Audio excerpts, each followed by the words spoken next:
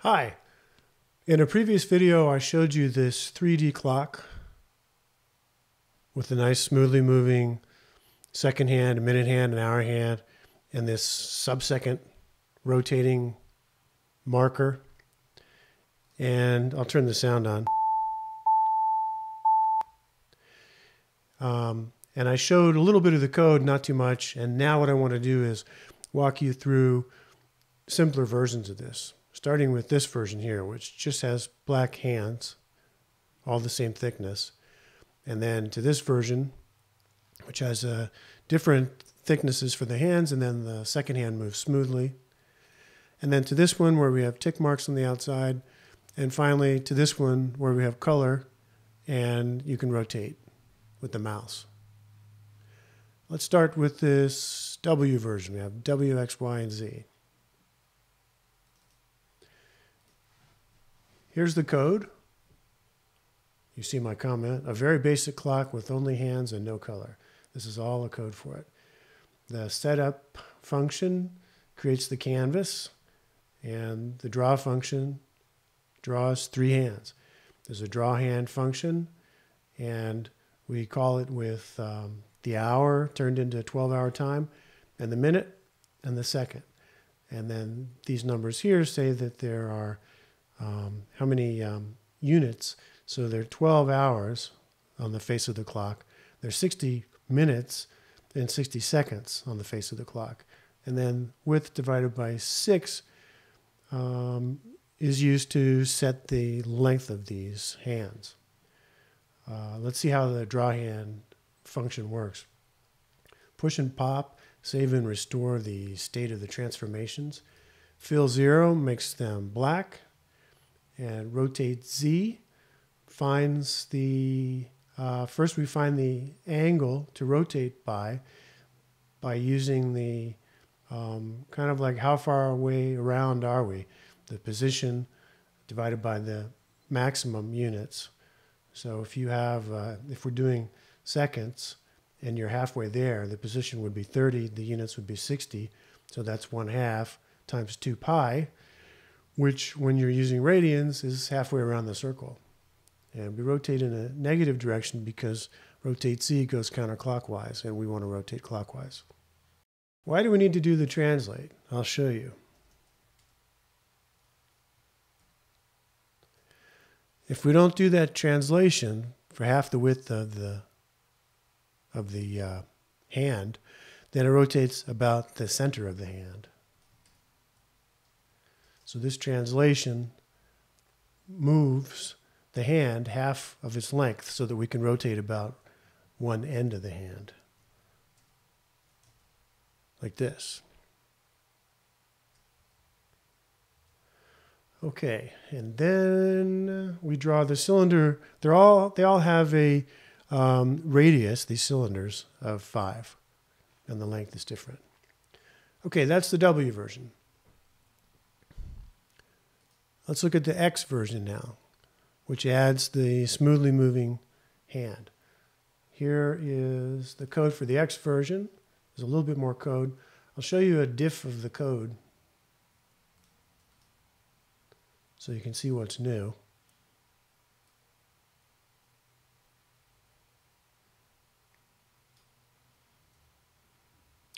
Well, we added a radius argument to the draw hand function so that each hand can have a different radius. We also added a z value because uh, although you can't see it yet, the hands are in different positions on the z-axis. So some the second hand is closer to us than the hour hand. And how do we use that? Well, z is used with the translate, and the radius is used instead of the constant 5. Um, now, what are we doing differently here? The, in order to make the second hand and all the hands actually move smoothly, we can't just deal with these integer hour, minute, second values. We've got to deal with the fractional portions of the second. So, um, do I still have this spreadsheet here? Yeah. In this spreadsheet, I show what these values are. And let me just get out of the diff and look at it here. Okay, I ran the program and captured this output. So you see there are four columns here and they correspond to these four variables. And milliseconds after current seconds, um, so let's say the time now is 15, 22, 23, and some fraction. So could perhaps it's 77 milliseconds after the last whole second. Um, and when I ran this, it was 49 seconds after the minute, and now we have this fractional part. So that's the second plus fraction is this column. Um, and then minute plus fraction. So if you figure 49 um, out of 60 is about 81%. I'll show you here. Uh, so 49 divided by 60 is a, is about 0.81. So five minutes plus 0.81 and something. So that's the minute plus the fraction. And then we need the hour plus the fraction. And um, when I ran this, the hour was zero. And um, so let's see, 5.81 divided by 60. Let's see if that jibes. Yes, so 0968, 097. So that's the hour plus the fraction. Um, so instead of using these uh, previous the previous integer values, we use these real numbers to get uh, smoother movement. Okay, so there you see that smooth movement. Let's go now to the Y version where we add the tick marks. Here's the code for the Y version and I'll diff this against the X version. And um, we have quite a few things. Tick marks, an axle, and a state object. We have a new function to draw tick marks. We have a function to draw the axle. And we call them here. What else is new here? This state object stores um, kind of adjustable options for these things. The, um, well here, let me come over here and uh,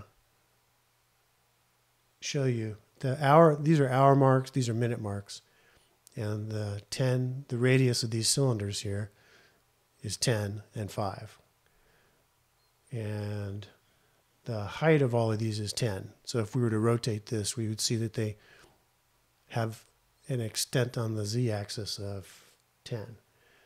The axle here has a thickness of 10, that's the radius, and then a length of 200. And you can't see it yet because we can't rotate it.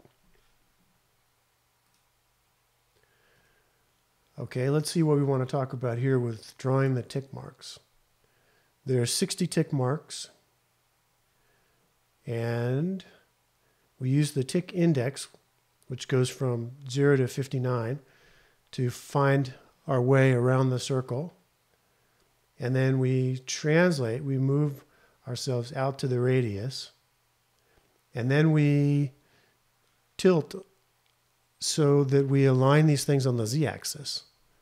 I'll just show you what it would look like if we didn't do this part.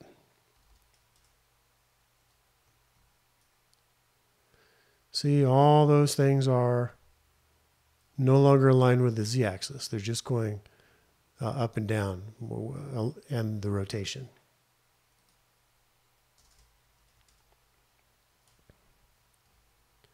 Okay, that's fixed. And then um, the mark thickness, we figure out whether this is um, one of the hour tick marks or one of the minute tick marks. And we um, set the value appropriately. And then here's where we call cylinder to make these cylinders with the thickness we calculated and then with the mark height that came from the state. Drawing the axle is pretty simple. We rotate on X again to align the cylinder with the Z axis. and then we draw the cylinder at the fixed thickness and length. Okay, I think that was the big changes for the Y version. And now the Z version adds color and then the ability to rotate. So now you can see these things that are on the Z axis a little bit better. You can see that the hands are not on the same place on the Z axis. Okay, so let's look at the Z code here. And I'll diff against the previous. Okay, what have we got? Well, we've added mouse has moved to the state. Um, I'll show you what that does. You see that when I move the mouse around, this image moves. But what I want to avoid is when the when the sketch first runs, I want to avoid having, I want the clock to present itself aiming directly at us. I don't want the fact that the mouse pointer is now up in the corner to make it originally appear like this. So that's why I won't rotate it until the mouse has first been moved. And that's what this does. And now I've found some colors for the hands and the ticks. Now you'll see where I replace fill zero with fill the ticks colors. And I added a nice comment to explain the draw hand function. We added the color argument to the draw hand function. And now we also have rotate clock with mouse. And then here, when the mouse move function is called, that's when I set the, the mouse has moved flag to true. Okay, uh, we added colors here. And um, I'll explain the rotate clock with mouse, but I'll get out of the diff and back to here. Rotate clock with mouse. Rotates using the mouse X position rotates on the y-axis and using the mouse's y position rotates on the x-axis. And this function, angle from mouse, maps the mouse position, um, which goes from 0 to width minus 1. The width and height are fixed to be the same. So it maps from 0 to width minus 1 to the um, negative of the maximum rotation radians. Where's this max rotation radians coming from? That's coming from here. So we've said pi divided by 4. 2 pi is a complete circle, so pi divided by 4 is an eighth of a circle. So this is, should be rotating it by 1 eighth of a circle, either direction. And uh, just before we stop, we'll look back at the complete version. Again, to remind you of that, it turns on its own, and then there's that second hand thing, or the sub-second hand, if you like, that's going around, and the sound. Okay, I hope I hope this walkthrough, starting from these very simple examples and building on them, help you understand the code in the full 3D clock program.